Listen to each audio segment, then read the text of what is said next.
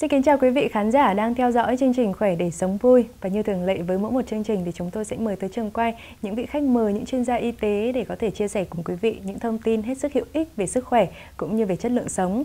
Và có lẽ trong thời gian hiện tại khi mà chúng ta thấy rằng số lượng trẻ em đang mắc à, virus adeno ngày một gia tăng cũng như là đã có những trẻ thậm chí là tử vong vì căn bệnh này thì đang dấy lên rất là nhiều những nỗi lo ngại. Và ngày hôm nay thì chúng tôi cũng đã mời tới trường quay để mang đến cho quý vị nhiều thông tin hữu ích hơn. Xin giới thiệu đó là bác sĩ Nguyễn Sĩ Đức đến từ Trung tâm Bệnh nhiệt đới, Bệnh viện Nhi Trung ương. Vâng, chào MC Phương Thúy, chào các bạn đang xem chương trình. Vâng thưa bác sĩ thì chúng ta thấy rằng là các ca mắc adenovirus ở bệnh viện Nhi Trung ương cũng đang gia tăng rất là nhiều và có xu hướng phức tạp nhiều hơn. À, vậy thì bác sĩ có thể thông tin rõ hơn về loại virus này cho các khán giả được biết cũng như là lý giải lý do vì sao mà tại sao ở thời điểm hiện tại lại uh, có nhiều trẻ nhiễm virus này? À, thực ra thì à, adenovirus nó không phải là năm nay bắt đầu mới có, nó không giống như virus covid, uh, SARS-CoV là mới xuất hiện trong giai đoạn gần đây mà thực ra adenovirus là người ta đã phát hiện cách đây tầm khoảng uh, 6 70 năm rồi. Từ năm 1953 là người ta đã phát hiện ra cái adenovirus và gần như năm nào chúng tôi cũng điều trị bệnh nhân adenovirus hết chứ không phải là chỉ mới năm nay bắt đầu mới có có cái dịch bệnh như thế. Tuy nhiên đúng là so với các năm trước thì năm nay cái tỷ lệ bệnh nhân mắc cũng có là xu hướng là gia tăng hơn và cái tỷ lệ bệnh nhân nặng cũng có xu hướng gia tăng. Thì một thống kê khoảng năm từ năm 1996 đến năm 2000 thì người ta thấy rằng là trung bình một năm Việt Nam có khoảng ờ, 17.000 người mắc adenovirus trong đó không có bệnh nhân tử vong. Nhưng mà đến năm nay cái xu hướng bệnh nhân có vẻ như là có xu hướng càng ngày càng tăng. Ờ, thì thực ra thì có rất là nhiều nguyên nhân. Nó giống như là dịch cúm năm nay chúng ta thấy rằng là uh, trước đây bình thường chúng ta hay gặp cúm vào mùa đông. Nhưng mà năm nay thì là cái đợt cúm nặng nhất của chúng tôi lại rơi vào cái mùa cuối mùa hè và đầu mùa thu nó cũng khác. Có vẻ như là cái tình hình dịch tễ nó có một số cái sự thay đổi. Tuy nhiên những cái thay đổi cụ thể như thế nào thì chắc là vẫn phải chờ các cơ quan chức năng cũng như chờ các phân tích sâu hơn để xác định được. Như anh có vừa chia sẻ là mọi năm thì có những cái số lượng người mắc cũng như vậy. Thế nhưng mà năm nay thì lại gia tăng nhiều hơn thậm chí là đã có những ca tử vong. Vậy thì cái điều bất thường ở đây là ở đâu ạ? Tại sao lại như vậy? Ừ, thực ra thì adenovirus thì nó có rất là nhiều tuyết huyết thanh. À, người ta có thể xác định được hơn 40 tuyết huyết thanh. Và có những cái tuyết huyết thanh khác nhau gây những nhóm bệnh khác nhau giả sử như có tuyết huyết thanh thì gây uh, viêm kết mạc. Chúng ta thấy hay gặp những cái đợt dịch viêm kết mạc chẳng hạn nó cũng là adeno. Rồi những tuyết huyết thanh có thể gây ra tiêu chảy tiêu chảy cấp. Những tuyết huyết thanh có thể gây ra các bệnh lý đường hô hấp. Vậy thì năm nay có vẻ như là là là cái trội lên là cái cái những bệnh nhân tử vong là những bệnh nhân liên quan cái bệnh lý đường hô hấp chủ yếu tử vong về viêm phổi viêm phổi do adeno viêm phổi nặng. Vậy thì có vẻ như theo tôi theo tôi thì là cái xu hướng là cái tuyết huyết thanh nó nổi trội lên còn về thực tế như thế nào thì chắc là cũng phải chờ thêm nữa Vâng, và từ những cái thực tế như vậy thì có thể thấy ở trên những trang mạng xã hội hay là các diễn đàn thì các bậc phụ huynh cũng bày tỏ cái sự hoang mang và lo lắng khi thấy rằng rằng là số lượng ca mắc tăng cao rồi thì có trẻ tử vong. Vậy thì bác sĩ có thể uh, phân tích rõ hơn một chút về uh, mức độ nguy hiểm của virus adeno cũng như là những cái căn bệnh nào mà nó có thể gây nên để cho khán giả có thể hiểu rõ hơn được không ạ? Ờ, như tôi vừa chia sẻ lúc nãy là adeno có nhiều tuyếp, nhiều tuyếp huyết thanh và mỗi tuyếp thì nó sẽ có những đặc điểm riêng. Đấy, có tuyếp gây bệnh này, có tuyếp gây bệnh khác. Và phần lớn, thực ra phần lớn thì nó rất là gây bệnh nhẹ. Giả sử như là gì ạ? Chỉ gây viêm kết mạc thôi. Có nghĩa bệnh nhân của tôi chỉ có cái triệu chứng viêm kết mạc hay là cái mình hay gọi là đau mắt đỏ đấy. Nó có thể gây một đợt dịch nhưng chỉ có triệu chứng ở mắt đỏ. Hoặc có những bệnh nhân ngày xưa thì có những bệnh nhân chỉ có triệu chứng là gì ạ? À người ta gọi là có triệu chứng của sưng hạch này, rồi là cái viêm kết mạc và viêm họng, lại viêm amidan đấy. Đấy, như thế xong là bệnh nhân lại lành. Tuy nhiên cũng có những cái thanh, bệnh nhân gây lại viêm phổi thì bệnh nhân có thể có các triệu chứng ho, hát hơi, chảy mũi, có thể sốt và những bệnh nhân nặng thì có thể có triệu chứng suy hô hấp và chúng tôi có thể thấy các tổn thương ở trên phim X quang những tổn thương nặng và những bệnh nhân có những bệnh nhân nặng đến mức phải thở máy và tử vong.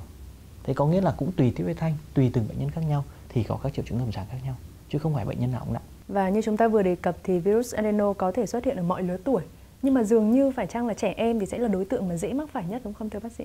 À, thực ra thì là adeno có thể gây bệnh cho tất cả các lứa tuổi, từ trẻ em, người thành niên, người già.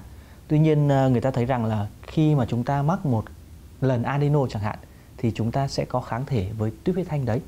Giả sử như bạn mắc adeno với tuyết huyết thanh là 13 chẳng hạn hoặc là 4 hoặc 7 thì bạn sẽ có trong người kháng thể chống lại cái cái tuyết huyết thanh đấy. Và sau này khi bạn lớn lên thì có nghĩa là người lớn người ta người ta thấy rằng là khi mà người ta xét nghiệm uh, cái huyết thanh uh, cái kháng thể ở người lớn thì thấy rằng là à phần lớn người lớn đã có cái kháng thể với các tuyết huyết thanh đấy. Thế nên khi mà đã có tuyết huyết thanh rồi thì cái tỷ lệ uh, gây bệnh nó sẽ ít lên ít hơn. Và thứ hai nó giống như kiểu được tiêm vaccine rồi ấy, thì cái tỷ lệ gây bệnh nó sẽ giảm đi và các triệu chứng lâm sàng nó cũng sẽ không rầm rộ như trẻ em. Có nghĩa là người lớn cũng đã qua cái giai đoạn trẻ em rồi cũng đã mắc từ ngày xưa rồi và đến bây giờ thì họ đỡ mắc hơn. Còn trẻ em thì lần đầu tiên họ tiếp xúc với cái căn nguyên đấy thì triệu chứng trẻ em nó sẽ nặng nề hơn. Ngoài cái đối tượng trẻ em là một đối tượng nguy cơ. Thì người lớn cũng có những nhóm đối tượng nguy cơ. Người già ờ, người mắc các bệnh lý nền như là các bệnh lý, nhóm bệnh lý tim mạch, nhóm bệnh lý hô hấp hoặc là nhóm bệnh lý thận tiết niệu như những bệnh nhân suy thận đang phải chạy thận hoặc nhóm bệnh nhân ung biếu đang sử dụng các liệu trình hóa chất hoặc là sử dụng các thuốc ức chế miễn dịch. Ở trẻ em cũng thế thôi. Nó là một yếu tố nặng. Tuy nhiên, trong ở trẻ em thì cũng có những bệnh nhân nặng hơn, có những bệnh nhân không nặng. Ví dụ như trẻ em mà họ có các bệnh lý nền đấy chúng tôi có những bệnh nhân ung biếu đang điều trị hóa chất trẻ em mắc bệnh thì nó sẽ nặng hơn so với một bệnh nhân trẻ bình thường hoặc là những bệnh nhân có bệnh lý tim mạch cũng sẽ nặng nề hơn Vâng, vậy thì mọi người cũng quan tâm rất nhiều đến cái việc là khả năng lây lan của cái virus này nó sẽ như thế nào? À, thực ra thì virus adeno nó có một số đường lây qua giọt bắn giống như cúm này, giống như covid rồi lây qua cái ờ, dịch tiết và lây qua nguồn nước. Giả sử như ờ, các nguồn nước bẩn hoặc là bể bơi, bể bơi cũng có thể gây ra. Đấy các đợt ừ, bệnh dịch mà gây ra viêm mắt đỏ, viêm kết mạc ấy, thường lớn phần lớn là lây qua nguồn nước hoặc là các trẻ cùng đi chơi chung một cái bể bơi mà trong cái bể bơi đấy có cái mầm bệnh chẳng hạn phát tán cái mầm bệnh thì nó có thể gây ra gây ra cái triệu chứng. Và thường thì ở qua nguồn nước thì nó hay gây ra là tiêu chảy hoặc là gây ra cái viêm kết mạc. Vâng và một cái nữa thì adeno cái thời gian nó tồn tại ở trong không khí trong cái nhiệt độ thường rất là lâu. À, người ta thấy rằng là ở trong cái nhiệt độ phòng ấy thì cái virus adeno nó có thể tồn tại khoảng 30 ngày. 30 ngày. Và nó có thể bám ở trên các cái bề mặt quần áo này rồi là các cái vật dụng này. Vì thế khi mà gì ạ, à, người trong gia đình sử dụng chung các cái vật dụng như là khăn lau mặt chẳng hạn rồi là bát thì đũa thì nó có thể lấy bệnh. Hoặc là ở trường học trẻ em nếu như sử dụng uh, chung các cái khăn lau các vật dụng cũng như thế hoặc là khi họ chơi tiếp xúc với nhau thì nó có thể gây bệnh. Hoặc là đơn cử như chúng tôi này chúng tôi là nhân viên y tế thì uh, khi điều trị bệnh nhân adeno về cái virus nó có thể bám trên quần áo bám trên tay chân nếu như mình không sát khuẩn mình không xử lý tốt thì nó cũng có thể để mang mầm bệnh về nhà Vậy thì à, thưa bác sĩ thì đâu sẽ là dấu hiệu phổ biến nhất và cần phải lưu ý điều gì đặc biệt khi phát hiện trẻ nhiễm ạ? Đối với nhóm bệnh nhân chúng tôi thường gặp thì ờ, cái triệu chứng mà hay gặp nhất của bệnh nhân adeno đấy là sốt. Và thường bệnh nhân adeno sốt rất là cao, sốt khoảng 39 đến 40 độ và thường bệnh nhân có thể đáp ứng kém với thuốc hạ sốt. Có nghĩa là bệnh nhân dùng uh, paracetamol, dùng ibuprofen nhưng mà cái tình trạng sốt không cải thiện hoặc là chỉ giảm được rất là ít. Đấy chính là cái vấn đề mà bố mẹ lo lắng nhất. À, một số triệu chứng nữa có thể gặp nữa như là viêm kết mạc. Nó cũng là một triệu chứng gợi ý cho adeno. À, nổi hạch ở cổ cũng là một triệu chứng và một số bệnh nhân có thể thêm các triệu chứng tiêu chảy. Và ngoài ra nếu như mà adeno gây bệnh hô hấp thì sẽ có giống như các virus đường hô hấp khác thôi. Bệnh nhân sẽ có hát hơi có chảy mũi có thể có ho khan hoặc là ho có đờm và những bệnh nhân nặng có thể có các triệu chứng của đường hô hấp dưới. Vâng, vậy thì khi nào chúng ta cần biết được là tình trạng trẻ đã mắc virus adeno và ở cái tình trạng trở nặng rồi và cần phải ngay lập tức đưa đến các cơ sở y tế thưa bác sĩ? Thực ra phần lớn bệnh nhân adeno thì mức độ nhẹ thôi. Có nghĩa có thể bệnh nhân chỉ có triệu chứng sốt trong khoảng 5 ngày, 7 ngày, sau đấy bệnh nhân hết sốt. Tuy nhiên một số nhóm bệnh nhân, đặc biệt là nhóm bệnh nhân nguy cơ có thể có các biến chứng của adeno, đặc biệt là viêm phổi và suy hấp. Vậy thì một số triệu chứng có thể gợi ý là bệnh nhân nặng. Thứ nhất là trẻ rất là mệt.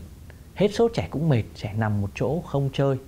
Thứ hai là gì ạ? À, có các biểu hiện của suy hấp gồm có trẻ thở nhanh, thấy con thở rất là nhanh thứ hai là gì ạ rút lõm lồng ngực hoặc là mẹ có thể nghe thấy các cái tiếng thở bất thường một số phụ huynh có thể nghe thấy tiếng thở rít của con hoặc là tiếng thở rên ở các trẻ bé thì đấy là những dấu hiệu mà gợi ý rằng là con bạn rất là nặng và bạn cần phải cho con đến trung tâm y tế gần nhất để được xử lý được cấp cứu Vậy thì uh, chủng virus này, adenovirus liệu có dễ bị nhầm lẫn với các chủng virus khác hay không? Và làm như thế nào để chúng ta có thể phân biệt được là người nhiễm virus adeno với những người mà mắc các căn bệnh khác, thế nhưng lại với những triệu chứng tương tự ạ? Ờ, thực ra thì adenovirus cũng là một loại virus có thể gây bệnh đường hô hấp. Vậy nên là triệu chứng của adeno khá là giống với triệu chứng của các virus khác, giống như cúm chẳng hạn, giống như covid chẳng hạn. Chúng thấy rằng là gì ạ? À, bệnh nhân adeno sốt cao, bệnh nhân cúm cũng sốt rất là cao bệnh nhân adeno đáp ứng kém với hạ sốt. Bệnh nhân cúm cũng đáp ứng kém với thuốc hạ sốt. Rồi bệnh nhân adeno có các triệu chứng hô hấp như là hắt hơi, như là chảy mũi, như là ho. Thì bệnh nhân cúm cũng có những triệu chứng đấy. Bệnh nhân adeno có đau họng, bệnh nhân cúm cũng có đau họng. Có nghĩa là cái việc để chúng tôi phân biệt trên lâm sàng khá là khó nếu như bệnh nhân không có một số triệu chứng đặc biệt thù. Ví dụ như bệnh nhân adeno có thể đi kèm với tiêu chảy, có thể đi kèm với viêm kết mạc và đặc biệt là trong mùa dịch thì giúp chúng tôi gợi ý đến căn nguyên. Còn lại nếu như mà một bệnh nhân đến đơn thuần với các triệu chứng đường hô hấp với sốt cao thì thực ra để bảo trên lâm sàng bác sĩ có thể phân biệt được bệnh nhân này là cúm, bệnh nhân này adeno hoặc bệnh nhân này là covid thì rất là khó. Vì thế chúng tôi sẽ phải dựa vào một số cái xét nghiệm cận lâm sàng để mà chẩn đoán phân biệt gồm có làm các test nhanh loại trừ cúm, loại trừ covid hoặc là xác định adeno dựa vào xét nghiệm PCR. Và Phương Thúy cũng được biết là virus adeno thì hiện tại chúng ta chưa có vaccine để ngừa và cũng chưa có một cái thuốc đặc trị nào cả. Vậy thì những cái biện pháp thì chúng ta nên điều trị theo hướng nào thưa bác sĩ? À, đúng thực tế là hiện nay chúng tôi chưa có vaccine và cũng không có thuốc đặc hiệu để điều trị cái virus adeno. Và phần lớn điều trị adeno là điều trị triệu chứng. Có nghĩa là bệnh nhân có triệu chứng gì, chúng tôi điều trị triệu chứng đấy. Phần lớn triệu chứng bệnh nhân là sốt. Cái quan trọng nhất thực ra cái quan trọng nhất mà phụ huynh quan tâm là adeno con sốt rất là cao và họ không dùng được thuốc hạ sốt để kiểm soát cơn sốt của con. Cái thứ hai bình thường các virus khác à, 3 ngày sau con đã hết sốt. Đây đến 5 ngày con không hết sốt. Có những bệnh nhân đến 7 ngày bắt đầu mới có xu hướng mấy độ sốt. Thế cái đấy là cái mà làm bệnh nhân lo lắng nhất. Và thực ra tôi nghĩ rằng là cái mà điều trị quan trọng nhất trong bệnh adeno đấy là kiểm soát tốt cơn sốt của con. Thực ra kiểm soát sốt thì người ta có nhiều phương pháp uh, chia làm phương pháp dùng thuốc và phương pháp không dùng thuốc. Phương pháp dùng thuốc thì các bạn có thể sử dụng các thuốc như là nhóm paracetamol, nhóm ibuprofen để kiểm soát sốt của con. Ngoài ra có thể là dạng cho con mặc thoáng rồi là trường ấm cho con, mặc thoáng mát, mặc các cái dụng cụ ờ, quần áo thì nó có thể hút mồ hôi tốt hơn cho con và cho con uống nhiều nước thì nó có thể hỗ trợ phần nào cái vấn đề hạ sốt cho con. Và đối với ở bệnh viện thì bệnh nhân có thêm các triệu chứng gì thì chúng tôi sẽ điều trị triệu chứng đấy. Ví dụ như bệnh nhân có viêm phổi, có bội nhiễm thì chúng tôi có thể cân nhắc dùng kháng sinh đối với những bệnh nhân có bội nhiễm hoặc là gì ạ? Những bệnh nhân nặng thì chúng tôi sẽ có dùng IVIG vân vân và vân vân. Bên cạnh những cái phương pháp như vậy thì à, các bậc phụ huynh cần lưu ý hay là bác sĩ có cái khuyến cáo nào cho à, các cha mẹ mà có con nhiễm adenovirus không ạ? Ờ, thực ra thì adenovirus nó không thực sự là nó quá nguy hiểm. Có nghĩa là không phải bệnh nhân nào cũng nặng. Và thực ra phần lớn bệnh nhân adeno có thể điều trị ở nhà. Vì thế nên nếu như mà xác định con bị bệnh thì à, phụ huynh cũng không phải là quá lo lắng. Bạn ấy sẽ sốt tầm đến ngày rồi con sẽ ổn. Con sẽ sốt tầm 5 ngày 7 ngày rồi con sẽ ổn và nhiệm vụ của phụ huynh ở nhà là gì? Là hạ sốt cho con, dùng thuốc đúng theo khuyến cáo của nhân viên y tế, rồi là cho con ăn uống đủ các chất dinh dưỡng, uống đủ nước, thì tình trạng con dần dần nó sẽ cải thiện. Cũng không nhất thiết là phải vào viện để được theo dõi, hoặc là phải vào viện để truyền dịch, để truyền kháng sinh. Vì thực tế là nếu như mà bệnh nhân không có cần thiết, không có các chỉ định, thì thực ra là sử dụng những cái đấy nó cũng không phải là tốt cho bệnh nhân vậy thì à, nãy giờ chúng ta đã nói về những cái phương pháp điều trị rồi và người ta vẫn nói là phòng bệnh thì sẽ hơn chữa bệnh. Vậy thì làm thế nào để chúng ta có thể phòng ngừa được virus adeno thưa bác sĩ? À, như chúng ta nói ở trên là nguồn lây đường lây của adenovirus là lây qua đường hô hấp qua các cái giọt bắn rồi qua đường tiếp xúc qua đường uh, các cái nước nguồn nước mà không đạt vệ sinh hoặc là nguồn nước bẩn. Vậy thì người ta uh, phòng bệnh cũng dựa vào cái cơ chế lây bệnh như thế. Có nghĩa đầu tiên là gì ạ? À, người mắc bệnh thì phải cố gắng giữ cho cộng đồng. Phải là gì ạ? À, khi mà ho thì phải che tay hoặc là sử dụng các khăn mềm để ho để che miệng khi mà ho. Rồi khi mà bạn thấy rằng là bạn bị bệnh thì bạn nên ở nhà. Hoặc là con bạn bị bệnh thì nên cho con nghỉ học để vì hạn chế lây cho các bạn cùng lớp. Còn đối với những người chưa bị bệnh thì thứ nhất là gì ạ? Đeo khẩu trang. Đeo khẩu trang là một trong những biện pháp để là hạn chế cái vấn đề lây nhiễm qua cái đường hô hấp qua các cái giọt bắn. Nó sẽ hạn chế phần nào. Thứ hai là hạn chế tiếp xúc với những bệnh nhân đang nhiễm bệnh thứ ba là gì ạ? Sử dụng các nguồn nước mà sạch đảm bảo vệ sinh. Và thứ tư là một cái rất là quan trọng là thường xuyên rửa tay. Thường xuyên rửa tay có thể bằng xà phòng hoặc các cái dung dịch sát khuẩn nhanh. Vâng, cảm ơn những lời khuyên hết sức hữu ích vừa rồi từ bác sĩ. Và thưa quý vị, ngày hôm nay thì chương trình của chúng tôi Khỏe để sống vui sẽ còn có một phần đặc biệt nữa đó chính là phần hỏi đáp cùng với chuyên gia. Quý vị khán giả quan tâm đến chương trình thì hoàn toàn có thể gửi những câu hỏi về cho bác sĩ của chúng tôi theo địa chỉ Gmail đó là khỏe để sống vui a gmail.com hoặc cũng có thể tương tác trực tiếp thông qua nền tảng số của chương trình. À, và bác sĩ của chúng tôi cũng sẽ trực tiếp giải đáp những thắc mắc này đến từ quý vị khán giả. Và ngay sau đây chúng tôi cũng đã lựa chọn được những câu hỏi tiêu biểu để gửi đến cho bác sĩ Nguyễn Sĩ Đức. Khán giả có địa chỉ email thu hà phạm a.gmail.com gửi câu hỏi như sau. Bác sĩ cho em hỏi có thể điều trị bệnh do virus adeno tại nhà không ạ? Thực tế thì uh, bệnh nhân adeno có thể điều trị ở nhà và thực ra là phần lớn bệnh nhân adeno nên điều trị ở nhà. Và điều trị ở nhà thì chúng ta cũng điều trị triệu chứng gồm có hạ sốt, gồm có uống nhiều nước, gồm có có điều trị các triệu chứng như là tiêu chảy, như là ho, như là viêm kết mạc và bệnh nhân có thể hoàn toàn khỏi bệnh khi các bạn điều trị con ở nhà. Khán giả có địa chỉ Facebook Mẹ bé Mòn hỏi, trong thời điểm hiện tại, bị nhiễm virus adeno có dễ nhầm lẫn với các chủng virus của bệnh COVID-19 không, thưa bác sĩ? Triệu chứng của adenovirus có thể nhầm với triệu chứng COVID. Bệnh nhân có thể có các triệu chứng tương tự như triệu chứng của COVID, gồm có sốt cao, gồm có các triệu chứng của đường hô hấp như là hắt hơi, như là chảy mũi, như là ho. Và đối với bệnh nhân COVID thì chúng tôi cũng thấy là có những bệnh nhân COVID cũng có các triệu chứng nặng như là triệu chứng viêm phổi, như là suy hấp. Vì thế rất khó để chúng tôi phân biệt đơn thuần là một bệnh nhân uh, nhiễm COVID hay là nhiễm AINO trừ khi bệnh nhân AINO có các triệu chứng là, là nổi hạch hoặc là viêm kết mạc như chúng ta trao đổi lúc nãy. Và thực ra chúng tôi sẽ phải dựa vào các cái cận lâm sàng như là làm đơn giản giản là mình có thể làm một cái test nhanh covid thì chúng ta có thể giúp phân biệt được là à con chị có bị covid hay không? Và con chị có vẻ có nguy cơ có adeno hay không? Xin được cảm ơn bác sĩ rất nhiều một lần nữa với những chia sẻ rất là hữu ích vừa rồi.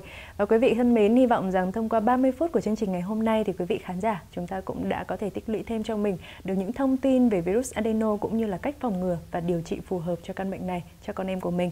À, một lần nữa xin được cảm ơn bác sĩ và cảm ơn quý vị khán giả đã quan tâm theo dõi chương trình. Kính chào tạm biệt và hẹn gặp lại.